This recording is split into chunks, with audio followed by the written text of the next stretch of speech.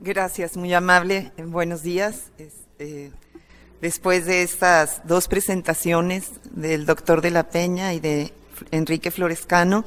pues voy a tratar de entrar a esta discusión ya específica sobre mi perspectiva del análisis regional de esta sección o esta región que se ha dado en llamar la frontera norte y sobre la que he estado trabajando en una discusión más bien de carácter epistemológico sobre cómo se ha abordado y cómo propongo yo en mi interpretación eh, que habría que estudiarla y que habría que interpretarla. Primero que nada, quiero subrayar que me siento muy honrada por la invitación de Guillermo de la Peña para participar en este seminario de historia regional de la cátedra que lleva su nombre en esta ocasión especial dedicado a Enrique, Florescano, mi maestro en el posgrado de Historia en el Colegio de México, además de director de mi tesis doctoral. En esta presentación tengo la intención de explicar y explicarme primero cómo es que llegué a trabajar con un tema problema que me ha ocupado desde hace más de dos décadas, que geográficamente se ubica hacia el norte de Nueva España, en lo que contemporáneamente nombramos como el norte de México. En segundo lugar, expongo algunas bases epistemológicas de la construcción del problema y mi personal interpretación de un espacio que se transformó en región. Hace unos meses, Jan Meyer escribió en la revista Nexos un artículo delicioso sobre la trayectoria francesa de Enrique Florescano, en el que además de describir los nexos y contextos, las coincidencias y desencuentros en los primeros años de Florescano en su recorrido por el mundo de la historiografía de vanguardia de la Escuela de los Anals, ubica el pensamiento florescasiano y el suyo propio en un punto de partida sin retorno que me hizo recordar con entusiasmo casi adolescente las clases impartidas por Enrique en el Colegio de México. Algo así como que el viaje histórico inicia con la premisa de pensar históricamente razonamiento circular que con la misma intención de un movimiento continuo no cesa de agitar la posibilidad de verdad. Palabras más, palabras menos,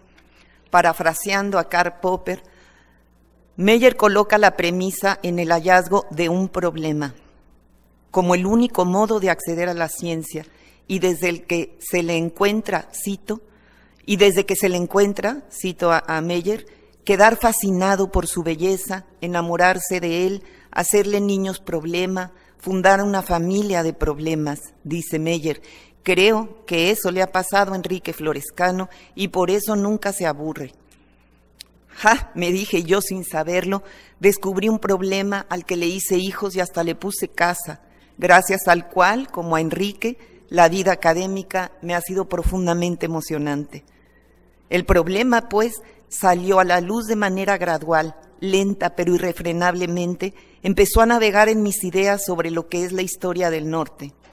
En sus clases, Florescano, como lo referíamos en el colegio, nos hablaba con vehemencia de los mitos fundacionales mesoamericanos, su luz y subjetividad, su estructura, su función. También nos habló del modelo de las haciendas localizadas en el centro y sur del país, acaparamiento de tierras, mercados regionales limitados, endeudamiento, escasa inversión, o bien nos ubicó en la incidencia de los fenómenos meteorológicos asociados a los bajos niveles de productividad y su impacto en los periodos de hambruna marcados en la Nueva España además de los mercados y su regionalidad, entre otras muchas otras cuestiones que nos llevaron a pensar históricamente. Touché, exactamente ahí residía el problema, explicar un espacio lejano y marginal al centro del poder virreinal, el lejano perdón, el lejano septentrión, la tierra adentro, la, la, frontera con los bárbaros, explicarlo como un proceso de larga duración, como un espacio región inextricable y diverso en el que no encontraba evidencias del modelo hacendario, pero sí de otro modelo de acaparamiento, el latifundio y sus territorios, llagados de haciendas, ranchos ganaderos, poblados dispersos, misiones y presidios militares. En fin, un espacio vacío lleno de nativos insumisos y reacios siempre a la invasión de sus territorios de vida, un espacio seco y productivo en el que el mercado hacia tierra, hacia tierra afuera era cosa de todos los días. Porque en el desierto y sus largas sequías, la inventiva tecnológica heredada de los moros favoreció el acaparamiento del agua, recurso, eh, recurso escaso más valioso que la tierra, que había transformado además los espacios colonizados en graneros regionales.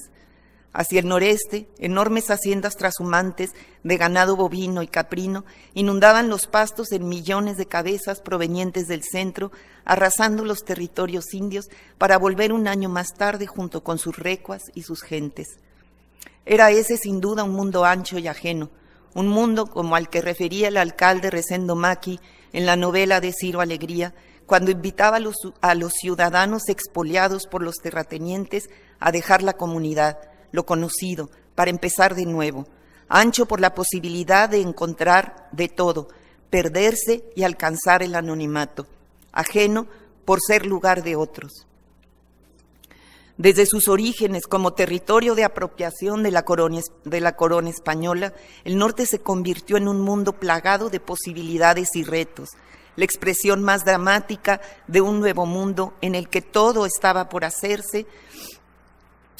y en el que, paradójicamente, se mantuvo por siglos la posibilidad de fronterizar lo ancho frente a los nativos hostiles a la presencia de ajenos rapaces, los colonizadores. Como espacio vivido, su anchura lo mostró diverso y en consecuencia territorialmente complejo. El descubrimiento de este espacio otro me llevó a explicarlo como una construcción subjetiva a partir de la idea de lo posible, la posibilidad de transformar y territorializar lugares que en sus orígenes prometían riquezas minerales extraordinarias, la posibilidad de convertir un mundo de infidelidad a la fe, de convertirlo a la, obediencia del rey, la posibilidad de un refugio fuera del centro del poder colonial. Esta idea simple de la noción de conquista en el tiempo se convirtió en el corazón del problema. Explicar la fronterización de un espacio difícilmente definible como una región cultural o territorial monolítica, una especie de laboratorio para analizar los procesos que sustentan la hegemonía del poder colonial. De ahí mi interés primero por comprender los procesos de colonización en el análisis de la construcción de territorialidades complejas desde la perspectiva de la diferencia, con la intención de comprender el impacto del poder colonial en la creación de espacios efectivos de control territorial como expresión del cuerpo físico del imperio. Busqué dilucidar la geometría de un espacio inmerso en esta colonialidad de la colonialidad, esto es, esto es la frontera norte. Inmersa en este laboratorio, habría de revisar las evidencias que la historiografía ha producido sobre este espacio para descubrir que había en ella un empeño por buscar certezas en esta complejidad evidente, que surgían de una temporalidad colonial justificada en hechos de conquista, orientados a la normalización del territorio conquistado, dejando de lado la realidad de una colonización accidentada e inacabada que desde sus inicios fue profundamente violenta. El hallazgo de un sinfín de evidencias documentales que dibujaban un espacio inmerso en una geometría imposible, multidimensional, en la que abundaban variables diversas de extensión, forma, relaciones entre puntos, líneas, ángulos, planos, es decir, dimensiones fractales continuas e ilimitadas que mostraban una enorme diversidad cultural recreada en la marginalidad con respecto al centro del ideal del poder colonial. De ahí, tratando de construir las premisas de la subjetividad de este espacio, la noción de colonialidad aparecía en la historiografía como una preocupación de orden casi central, colocando las diferencias en estadios inamovibles, preocupación que ha trascendido en el tiempo como expresión, me parece, de la interpretación positiva más pura de la realidad colocada en el devenir histórico de esta región, fundada en el triunfo de la civilización sobre la barbarie. Fascinada por el riesgo, me aventuré entonces a una lectura crítica de las nociones de frontera y colonialidad que se han generado desde la historiografía más clásica hasta la concepción multiconceptual de la frontera como realidad, tiempo-espacio. Ahí nació, me parece, uno de los hijos del problema, observar el proceso fronterizo a partir de desfronterizar el conocimiento generado y producido sobre el espacio norte novohispano versus la frontera colonial y su institucionalización. En el análisis de los procesos de integración de espacios límite marginados como fundamento de la construcción de lo imperial, resultaba ineludible analizar el razonamiento de la construcción de la alteridad y sus secuelas en la explicación de esta colonialidad. Al mismo tiempo y como consecuencia de dicha deconstrucción, había que reflexionar sobre las nociones creadas de lo bárbaro chichimeca a partir de la idea de que toda interpretación procede de una preinterpretación, trama que José Luis Grosso ubica como el punto de partida de la interculturalidad que nos constituye y que se prolonga a nuestra poscolonialidad. Esto es, cito a Grosso, la evidencia invisible y el rumor inaudito de nuestro, de nuestro tortuoso ingreso a la historia. Así, explicar el espacio al norte novohispano como producción social y como interpretación histórica resultó de una larga reflexión en torno a la diferencia como realidad sumergida en las clasificaciones surgidas del pensamiento hegemónico, interesado en justificar la colonización como naturalizada y universalizada. Frederick Jackson Turner, por referencia ineludible de la noción de frontera, en su esmero por demostrar que el límite a la tierra libre de rentas era resultado del avance de la civilización colocada en las oportunidades múltiples, ofrecidas a los nuevos colonos en espacios vacíos en los que se instaurarían las bases sociales e institucionales de la democracia, mantiene una vigencia vigorosa en la historiografía producida sobre los espacios fronterizos en América Latina. Incluso ha trascendido a otros continentes dada la flexibilidad del concepto que propone. Es decir, la civilización materializada en la colonización como una ola que avanza y crea frontera, que transforme el espacio en lugares vivibles en los que los colonos sembrarán, criarán animales, procrearán linaje. En todos sentidos, se apropiarán de la tierra e intimarán con ella. Las ventajas de la propuesta de Turner radican en la posibilidad de explicar la frontera como espacio, como proceso y como condición y en este sentido como un fenómeno social y no solo como ámbito geográfico. Me parece, sin embargo, que su debilidad radica en la tesis que sostiene la idea de la americanización, es decir, el argumento ideológico que se sustenta en la idea de la frontera como una ola en expansión, punto de encuentro entre el salvajismo y la civilización, que al mismo tiempo arrasa y a su paso barre con las culturas indígenas. La noción turneriana de frontera no solo representa los límites en movimiento que caracterizan lo que hoy creemos entender sobre el espíritu de la nación americana, sino también ha representado para los estudiosos del tema una forma concisa de acotar un concepto complejo que trasciende el lugar y se dispara en el tiempo y el espacio como generador de protoidentidades, transformándose en un factor a ser explicado más que explicativo de una definición demarcatoria que conduzca, como bien apunta Cuna Martans, a pensar la frontera eliminando todas las esencialidades y determinismos de lo irreversible. Seguidor y crítico de la frontera turneriana, Bolton contribuyó a las interpretaciones de los procesos de normalización del espacio colonizado y sin duda a invisibilizar las contradicciones espacio-territoriales derivadas de este proceso. En este sentido, la misión, concebida como institución de frontera desde la mirada boltoniana, a la que se agregarían otras estructuras como el presidio, se convirtió en el lugar privilegiado de producción de dichas contradicciones, al contener en su seno a los indios insumisos y acotar las fronteras de la barbaridad.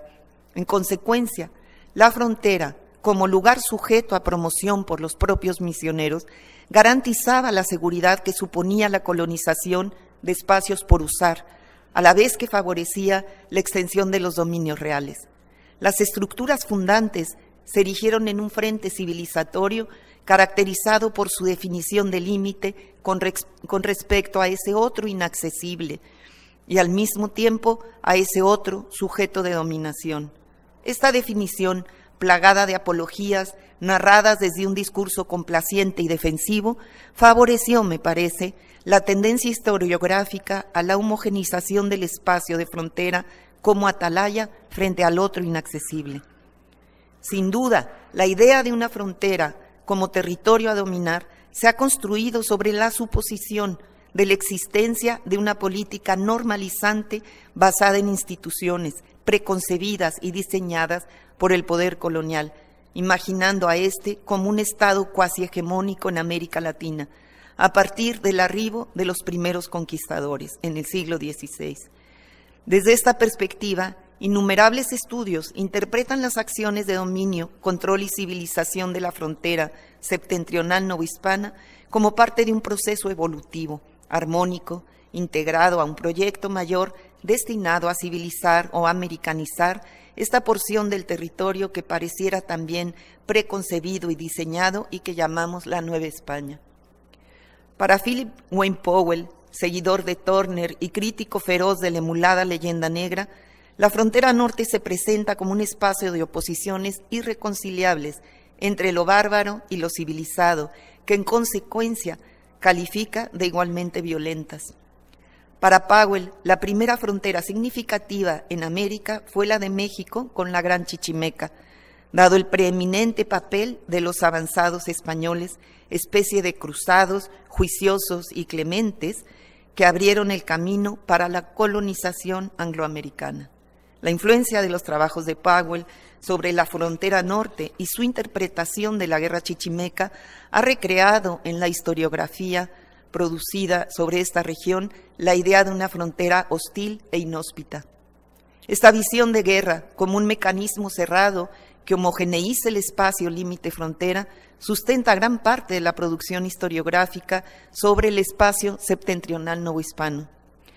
en la que la narrativa se mueve entre lo apocalíptico y lo triunfal como antecedentes del origen de un espacio conquistado, colonizado y finalmente normalizado. En este sentido, el Gran Norte y The Great Southwest son producidos desde una gama de saberes definidos de un espacio que se crea conforme el límite o los límites avanzan, posponiendo el análisis de la evidencia de su complejidad, por no encajar en la armónica visión del orden establecido. Si partimos de la frontera como un, referente, como un frente homogéneo, una línea que avanza, conforme los procesos de, eh, de expansión se sostienen, la frontera resulta en una representación del poder emanado de un Estado que define sus límites políticos en la misma medida en que interactúa por medio de la guerra o de cualquier otro instrumento de negociación con los otros, los que se encuentran del otro lado de la frontera, que desde la perspectiva de Owen Latimore trata de una zona de interacción, espacio de diversidades culturales compenetradas dinámicamente. Pero ¿cómo definir esa interpretación? Wolfgang Kaiser, quien se propone pensar la frontera como un recurso a explotar, ya sea por la guerra entre naciones o incluso por la guerra comercial, definiría esta interacción como una cohabitación hostil. El problema radica en suponer que la interacción deviene en contacto. Si así fuera, nos moveríamos en un círculo de explicaciones que nos llevarían a perder la mirada sobre la realidad de la construcción fronteriza, ya que todos los espacios lugares son, por definición, desde esa perspectiva, espacios de interacción, pues de otra manera no serían nombrados. Lo fronterizo entonces podría referirse a un proceso sin duda dialéctico. En esta tesitura, la frontera como espacio la concibo como un hecho fronterizo. La frontera norte novohispana es hostil, es movediza, es temporal. La movilidad corresponde precisamente a un proceso de expansión en cuyo centro se mueven jurisdicciones diversas, misioneros, militares, conquistadores, colonizadores, e, todos ellos se enfrentan a los otros, a los que a su vez definen los límites del espacio fronterizo en busca de un control territorial que no corresponde a la realidad de una intención de soberanía imperial, sino a su propia realidad territorial que es a la vez diversa y confrontada. La frontera se parece más a un contenedor de prácticas territoriales que a una línea que dibuja la soberanía sobre un territorio. tanto como contenedor o como espacio lineal, ciertamente desde el poder colonial el espacio fronterizo se transforma en hecho fronterizo, susceptible de representación. Al descubrir la tierra, el espacio se transforma en lugar que contiene posibilidades, contiene las nuevas tierras. Esta visión de lo tangible cambia en el proceso de desciframiento cuando se cruza con un espacio ya escrutado, preexistente, en el que habitan otros que descifran a la vez sus propias subjetividades. Un espacio cuya arquitectura social difería radicalmente de la concepción de uso del espacio habitado y habitable de los creadores de un nuevo mundo y que conlleva a la oposición de historias locales como expresión operativa de la colonialidad del poder, definida por Miñolo como historias diferentes en un mismo espacio, en el que se verifica la restitución del conocimiento subalterno y emerge el pensamiento fronterizo.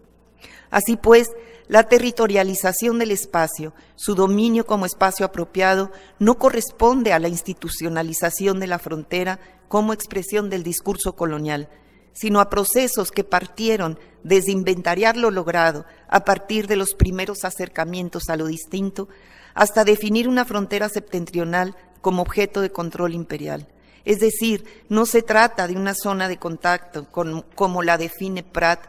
en donde por azar convergen dos historias en una misma geografía, por más que desde esa perspectiva Pratt intente rescatar lo subalterno, subrayando la presencia de las relaciones de poder radicalmente asimétricas. La frontera septentrional, como objeto de control, es por definición creación del imperio y no de quienes ocupan el espacio. Difícilmente sabremos si los nativos que lo habitaron percibieron con tal claridad los límites que imponía esta frontera y las muchas fronteras que en el tiempo se crearon y se destruyeron. De ahí la importancia de analizar la noción de frontera a partir de un anclaje espacial, cuya complejidad va más allá de la concepción del espacio como lugar de residencia o de expansión de un Estado. En esta perspectiva parece ineludible considerar la relación entre procesos de territorialización y de definición del dominio territorial mediante la idea de los espacios preexistentes como espacios aprensibles en el proceso de dominio y creación de lugares hacia el norte del imperio novohispano. La noción de vaciedad prevaleciente en los primeros años del siglo XVII sobre los espacios desconocidos que se extendían más allá de las goteras del, del Nobel poblado español de Santiago del Saltillo y de su único vecino, el pueblo de indios de San Esteban de la Nueva Tlaxcala, era la de ocupar nuevas tierras, tierras vacías en las que cabía cualquier posibilidad. Esta idea de un continente vacío, que Eduardo Subirats despoja de todo rasgo utópico para colocarlo como principio subjetivo de dominación, contiene a su vez la noción de lo posible como motivación pragmática última. La idea de vaciedad íntimamente vinculada a la certeza de posibilidad de crear un nuevo lugar con la transformación del espacio en paisaje se objetiviza cuando en él se levanta la empalizada de paja que representa la casa de Dios y se yergue la cruz o al ser medido y delimitado hasta transformarlo en un escenario capaz de contener objetos y sujetos que lo construirán en un algo habitable, socialmente significado. El imaginario vacío corresponde así a la necesidad de objetivación que le da un sentido de ocupación a partir de nada. En esa medida se crea y podrá transformarse en un objeto constitutivo de la territorialidad. La territorialización del espacio producido y representado, que significará un ser parte de un territorio definido por la exterioridad o la alteridad, un espacio no domesticado, pensado como vacío e indefinido, solo objetivado en una plétora de posibles. Previo a la objetivación de este espacio, como espacio de apropiación y de uso de las materialidades imaginadas o tangibles, agua, metales, pastos, como lugar de posibles, el espacio era otro, en una realidad ajena a la de los potenciales nuevos ocupantes. El espacio existía sembrado de dominios territoriales en el que se movían relaciones sociales estructuradas a partir de actividades económico-políticas de recolección, pesca o cacería, intercambios y rituales, cuyas huellas no necesariamente eran evidentes en el paisaje. Bajo esas territorialidades o sobre ellas se produjeron otras en las que el espacio, concebido como paisaje escenario capaz de armonizar el mundo exterior, fue concebido también como un ente animado, maleable, susceptible de control. En este sentido, el espacio de localización podría explicarse por medio de la abstracción de su concepción como un lugar factible de ser territorio de vida. Al, al concebirse como tal, se inicia un proceso de construcción de territorialidades que parte de la nada y que implica en su definición, por ser parte del territorio, la habitación que generará la identificación con el espacio.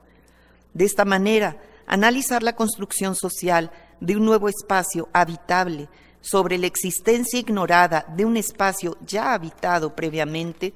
supone necesariamente considerar los contenidos sociales tangibles que Carlo Piazzini coloca en los objetos y las cosas que pueden ser, cito, soportes y acaso expresiones de la cultura, pero que no necesariamente definen al espacio como expresión de las propias relaciones sociales o, o como condición para dar inicio al nacimiento de nuevas prácticas de asentamiento sobre un espacio preexistente, aunque ignorado. Como sistema de relaciones de una colectividad o de un individuo frente a la exterioridad, es decir, los otros, los territorios evolucionan, se transforman o se destruyen en el tiempo. En la misma medida, pueden permanecer solo en el imaginario de dominación que implica recrearlo y a largo plazo un derecho o poder derivado del descubrimiento e invención de un paisaje concebido a partir del desconocimiento deliberado de territorios previamente definidos en relaciones ajenas. El derecho a ser de un territorio forma parte de él. Construirlo a partir de relaciones específicas se concebía entonces como la práctica idea de conquista que representaba el espacio como dominado y en última instancia como seguro. Si se considera la práctica espacial como producción de una espacialidad social, es posible definir las representaciones que del espacio se construyen como espacios de resistencia, espacios simbólicos y contraespacios que se yuxtaponen con otros espacios y que a la vez representan los valores que Bachelard define como los del espacio habitado o el apego a un lugar, lo que llamamos la topofilia. El valor humano, dice Bachelard, de los espacios de posesión defendidos contra fuerzas adversas. Para los conquistadores, los aventureros, los buscadores de riqueza y todo tipo de personas interesadas en el espacio denominado tierra adentro, que se extendía indefinidamente hacia el norte de la Ciudad de México, más allá de los límites de Zacatecas, resultaba siempre urgente describir los lugares de la Tierra Nueva, colocando lindes definidos por distancias en leguas entre puntos de partida y avance, y a la vez delimitando las posibilidades de lo conquistable. En primera instancia había que definir al otro, acotándolo en un espacio culturalmente homogéneo, es decir, lo bárbaro, lo salvaje, lo gentil, para definirse luego a sí mismos, lo civilizado, como vecinos fronteros. Es en este sentido una ascripción descriptiva de la fronteridad. Y en segunda instancia, ubicar a otro en espacios aprensibles, es decir, en territorios delimitados. En síntesis, hacer a los nativos visibles en un espacio vacío, susceptible de apropiación y de dominio. La oposición entre el pensamiento civilizado y el mundo bárbaro toma igualmente un significado en el que la guerra, como actividad simbólica, permite al grupo afirmar su diferencia.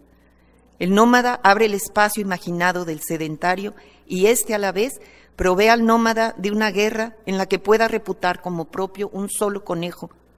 para el cronista, la batalla no tiene tiempo ni espacio. Se ubica y se desarrolla en la oposición como punto de negociación de lo imaginado. Los nativos nómadas desorganizan el espacio y solo la imperiosa necesidad del pensar estatal engulle las representaciones caóticas del espacio preexistente, alimentando su idea de sometimiento, de destrucción de todo, para inaugurar una nueva forma de vida en él. La paz marca entonces la diferencia fundamental entre el mundo civilizado y el mundo bárbaro a partir de la premisa de que la civilidad es condición de paz. La paz reordena el espacio y sienta las bases de la diferencia entre el bosque y la ciudad. Las conquistas militares se esconden tras la idea de conquistas espirituales o pacíficas en defensa del obtenido o por conseguir, pero compartiendo ambas, misión y presidio, objetivos idénticos, conquistar, conquistar el espacio y ganar territorios, contener a los nativos y acotar su sobrevivencia, expandir el imperio, abrir camino y establecer fronteras con los indios, es más, seguir adelante. El binomio misión-presidio establece así marcas o bases de operaciones equiparables a las de la época carolingia en Europa, constituidas en puntos de avance para nuevas conquistas pacíficas o violentas. Son puntos de reserva fronterizos que proceden del centro con la intención abiertamente declarada de tomar la periferia como terreno de presa. A partir de la guerra contra el demonio, y la salvación de los paganos, como lo describe Legoff. La mirada, la mirada que surge de la necesidad de explicar la normalización de un espacio construido sobre territorios en peligro necesariamente se funda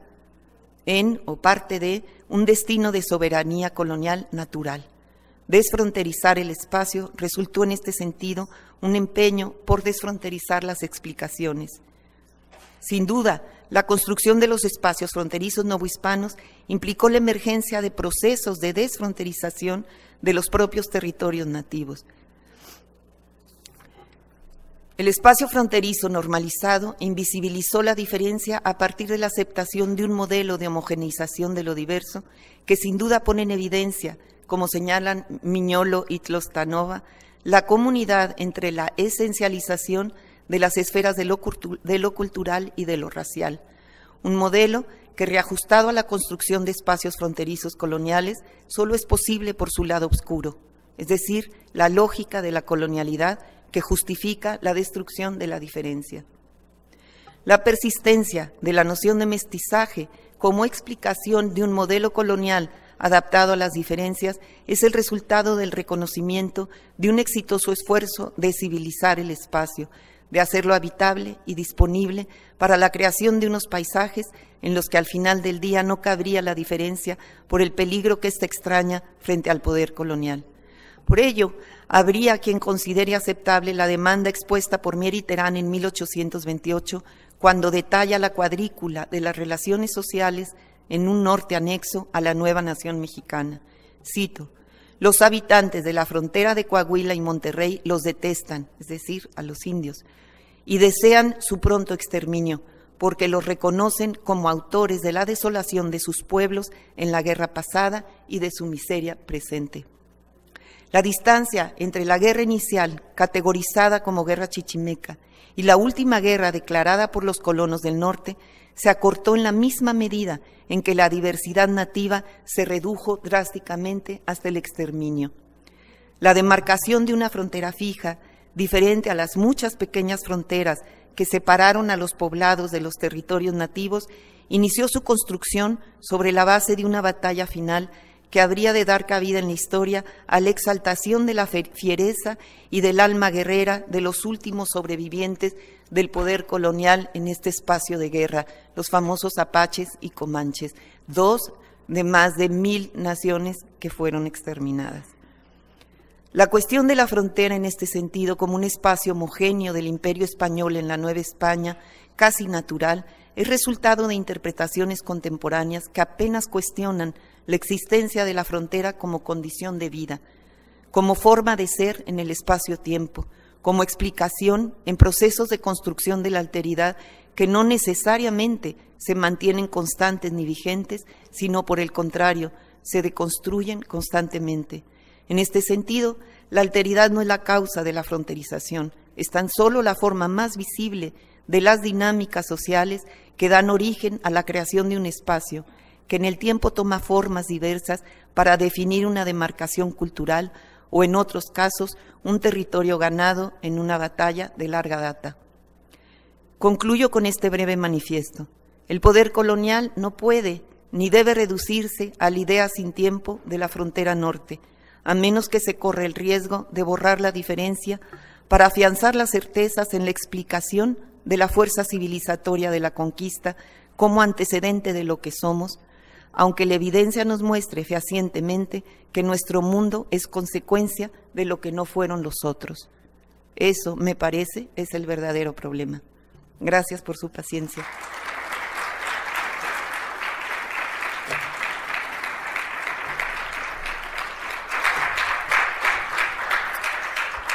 Agradecemos a la doctora Cecilia Sheridan por esta interesante conferencia.